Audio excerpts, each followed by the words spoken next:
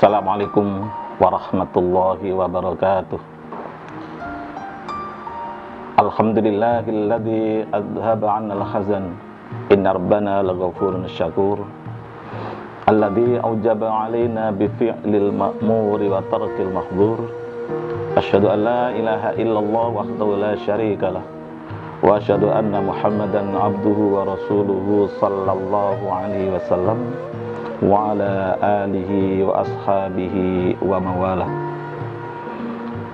Pemirsa LDI TV yang dimuliakan oleh Allah Subhanahu wa taala Pada umumnya manusia di jagat ini punya harapan yang sama. Hidup dalam kebahagiaan dan menolak penderitaan selalu mendapatkan yang terbaik dan menghindari yang terburuk. Terhindar dari yang buruk. Terhindar dari sesuatu yang kontradiksi dengan alam pikirannya. Itu manusia. Tetapi yang perlu diingat sudah menjadi takdir ilahi. Bahwa dalam kehidupan manusia di muka bumi ini akan silih berganti Terkadang kehidupan kita berada di atas, terkadang di bawah, terkadang di samping kanan, terkadang di samping kiri. Terkadang kita senang, terkadang kita susah, terkadang kita bahagia, terkadang kita menderita, terkadang kita menangis, terkadang kita tertawa. Itu sudah menjadi bagian dari hidup kita. Itu sudah menjadi romantika hidup manusia yang tidak akan pernah bisa kita hindari. Namun yang harus kita yakini bahwa apa yang Allah berikan kepada kita sebagai orang iman apa yang Allah takdirkan kepada kita sebagai orang iman semua ada hikmahnya. Allah sedikit pun tidak pernah menganiaya kepada hambanya yang beriman. Kalaupun Allah memberikan sesuatu yang tidak kita senangi yang tidak sesuai dengan alam pikiran kita. Memang kita selalu berharap bahwa dalam kehidupan kita ini kita selalu menerima sesuatu apa yang menjadi angan-angan kita, apa yang menjadi impian kita.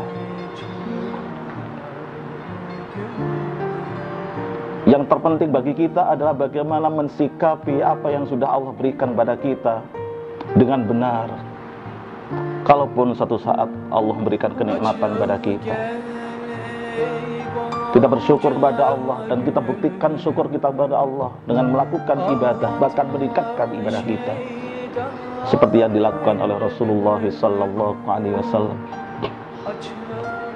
Dengan melaksanakan sholat tahajud malam bahkan sampai mengorbankan kesehatannya.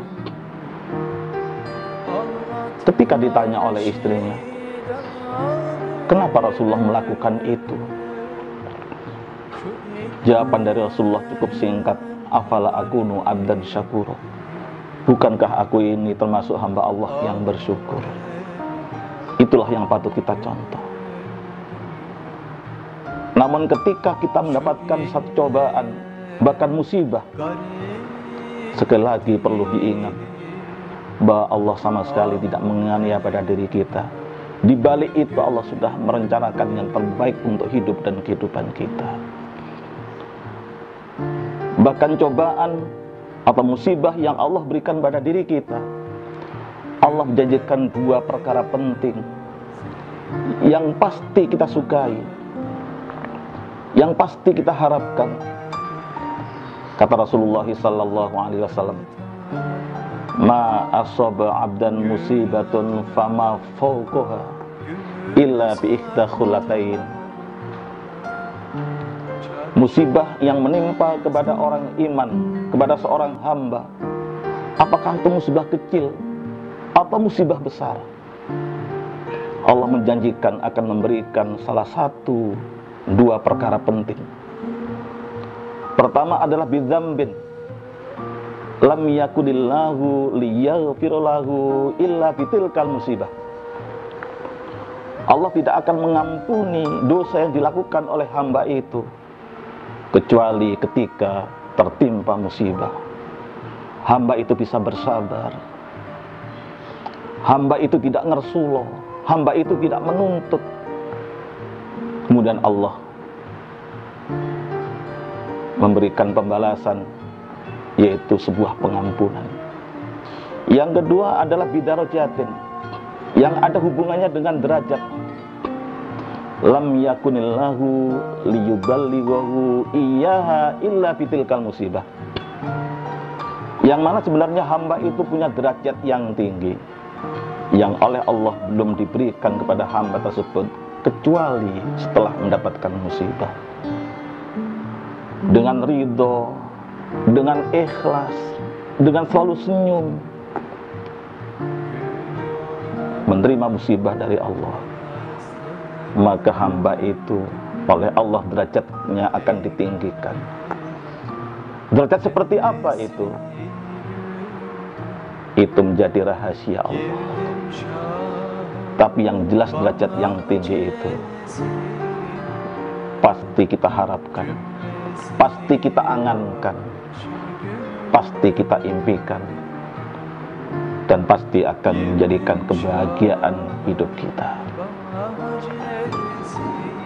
Oleh karena itu, apa pun yang terjadi pada diri kita, baik itu kita sukai maupun tidak kita sukai, baik itu kita senangi maupun kita benci, kita husnudon billah bahwa inilah yang terbaik untuk kehidupan saya.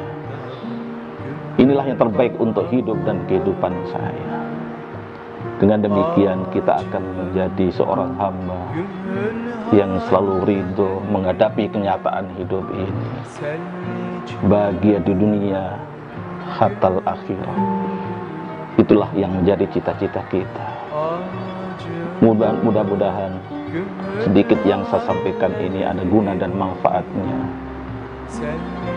Sampai ketemu di surganya Allah dengan Islam dan iman yang kita bawa sampai akhir hayat kita. Assalamualaikum warahmatullahi wabarakatuh.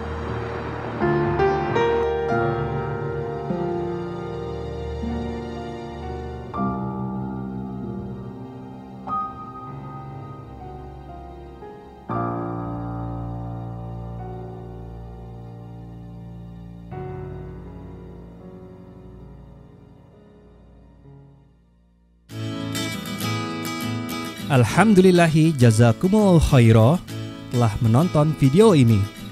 Jangan lupa klik tombol subscribe untuk menunjukkan dukungan ke channel LDI TV dan klik tombol lonceng untuk mendapatkan update video terbaru.